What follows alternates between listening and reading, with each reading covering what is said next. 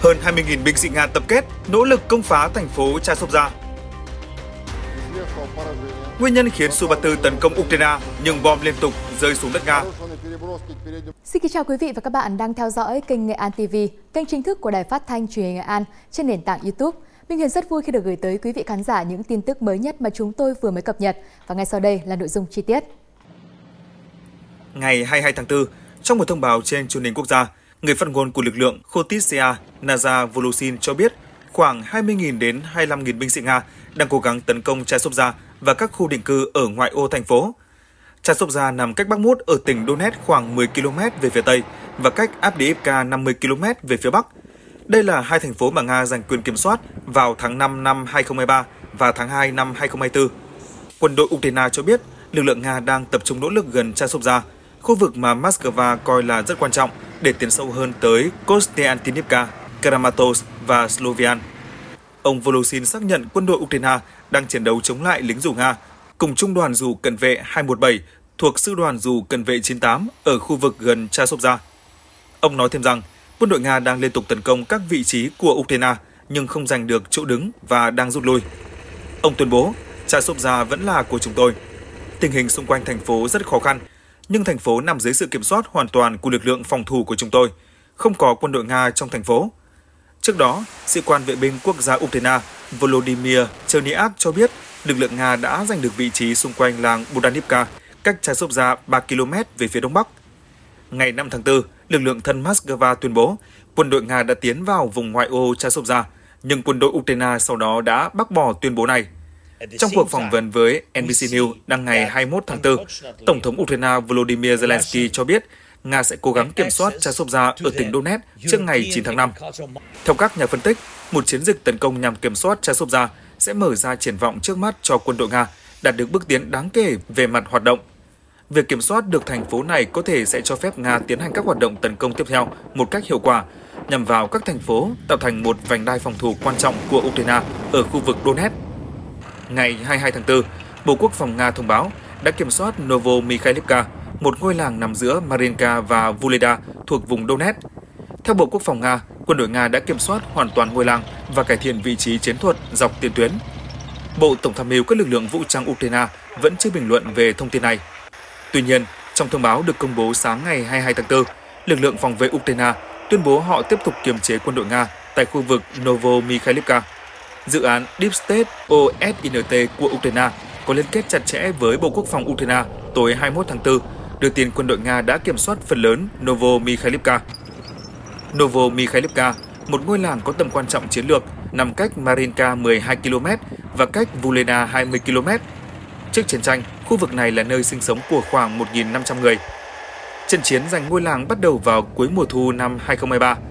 Vào ngày 19 tháng 4, lữ đoàn xung kích dù số 79 của lực lượng vũ trang Ukraine thông báo quân đội Nga đã mất hơn 300 thiết bị ở khu vực này trong 6 tháng qua. Ngày 21 tháng 4, người đứng đầu cơ quan tình báo quân sự Ukraine, ông Kirilo Budanov, nhận định nước này sẽ đối mặt với tình hình khó khăn khoảng giữa tháng 5, đầu tháng 6 tới, trong bối cảnh Nga được cho là tăng cường độ tấn công. Dự đoán này được đưa ra sau khi các chuyên gia tại Viện Nghiên cứu Chiến tranh ISW có trụ sở tại Mỹ cho rằng lực lượng Nga có thể sẽ tăng cường các hoạt động tấn công bằng tên lửa và máy bay không người lái ở Ukraine trong những tuần tới, trước khi Kiev nhận được lô viện trợ mới từ Mỹ. Các nhà phân tích của ISW lưu ý rằng Ukraine có thể phải chịu thêm những thất bại trong những tuần tới, trước khi sự hỗ trợ an ninh của Mỹ có thể giúp Kiev ổn định mặt trận. Cuộc xung đột Nga-Ukraine đã bước sang năm thứ ba và chưa có dấu hiệu kết thúc khi cuộc đối đầu giữa hai nước này ngày càng trở nên khốc liệt. Các loại vũ khí của cả hai bên đã được huy động gần hết. Với Nga, đó là các loại bom hàng không được sử dụng ở mức gần tối đa. Theo Thứ trưởng Bộ Quốc phòng Ukraine Ivan Gavrilyuk, chỉ tính riêng trong 3 tháng đầu năm, không quân chiến thuật Nga đã thả 3.500 quả bom vào các vị trí của quân đội Ukraine. Con số này gấp 16 lần so với năm 2023. Không quân chiến thuật Nga đã thả trung bình 250 quả bom mỗi ngày, chính thức thay thế hỏa lực pháo binh, trở thành nỗi kinh hoàng thực sự đối với binh sĩ Ukraine ở tiền tuyến. Nhờ phần lớn hỏa lực mạnh mẽ từ trên không, lực lượng Moscow đã có thể nhanh chóng đánh sập pháo đài kiên cố Avdiivka. Không quân Nga gần đây tranh thủ thời tiết tốt và phòng không Ukraine tê liệt đã tăng đáng kể số lượng các cuộc tấn công bằng bom vào các mục tiêu đối phương. Bom không chỉ phá hủy mục tiêu kiên cố mà còn được thả xuống các vành đai rừng trồng, nơi quân Ukraine thường trú ẩn. thậm chí còn chi viện trực tiếp theo yêu cầu của bộ binh Nga ở những chiến trường trọng điểm.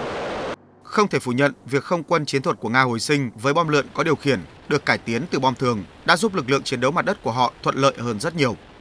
Tuy nhiên, kênh Astra của Nga cho biết mặt trái của tấm huy chương đã hiện rõ trong việc sử dụng bom lượn. Đó là trong thời gian qua đã ghi nhận nhiều quả bom rơi xuống khu vực Belgorod của Nga. Những trường hợp bom bị đánh rơi xảy ra trong các chuyến bay chiến đấu của máy bay Nga khi thực hiện không kích vào lãnh thổ Ukraine đã được Astra thống kê. Ngày 30 tháng 3, hai quả bom FAB-500 nặng 500 kg đã được tìm thấy cách làng Kryokovo ở vùng Belgorod 2 km.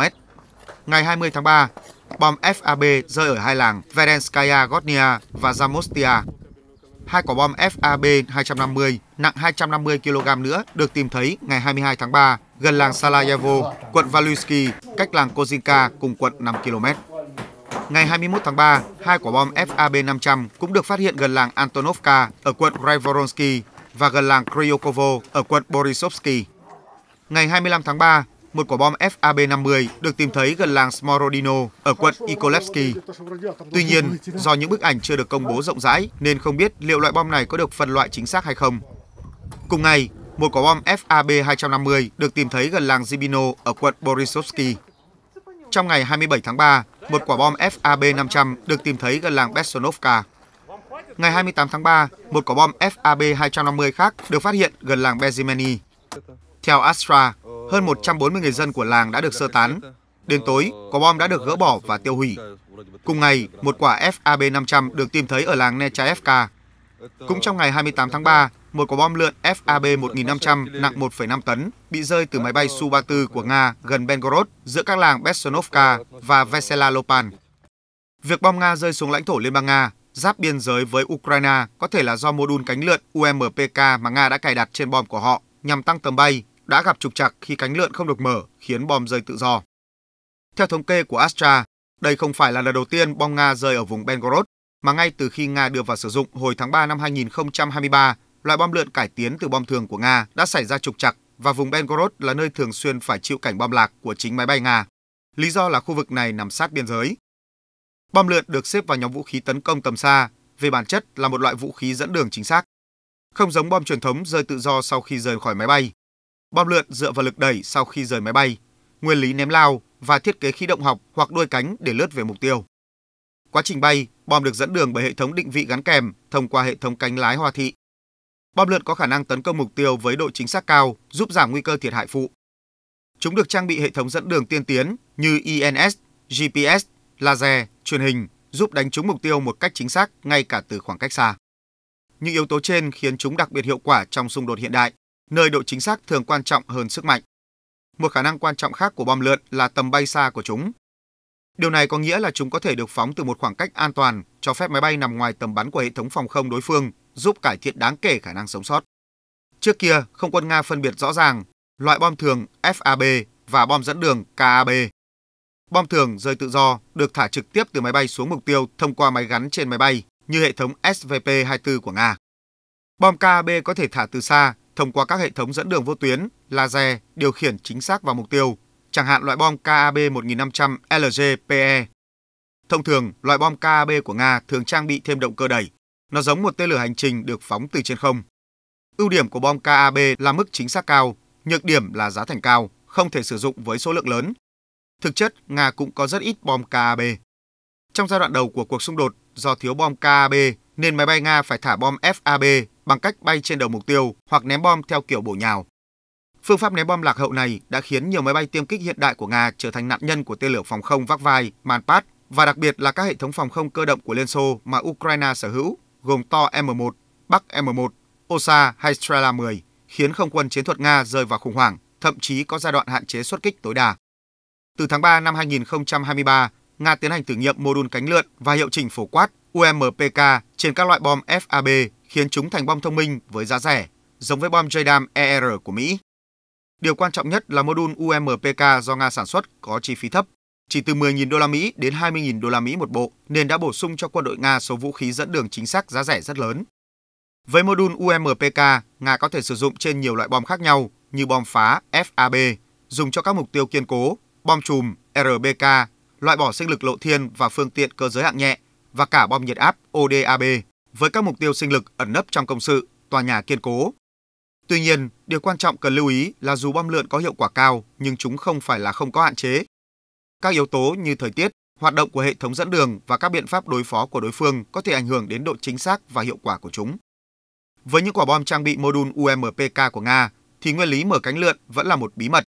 Khi chưa rời máy bay, đôi cánh lượn của bom được xếp gọn. Theo quan sát trên video, sau khi rời máy bay, một thiết bị nổ được kích hoạt, giải phóng lẫy giữ, giúp đôi cánh bung ra cho bom bay lướt về mục tiêu. Tóm lại, bom lượn Nga có khả năng thực hiện các đòn tấn công chính xác từ khoảng cách an toàn, khiến chúng trở thành vũ khí quan trọng, giúp lực lượng mặt đất Nga chiến đấu có hiệu quả, đặc biệt là trước các mục tiêu được bảo vệ kiên cố của Ukraine. Tuy nhiên, không phải không có những sai sót, có thể do công nghệ bom cánh lượn của Nga vẫn chưa hoàn chỉnh.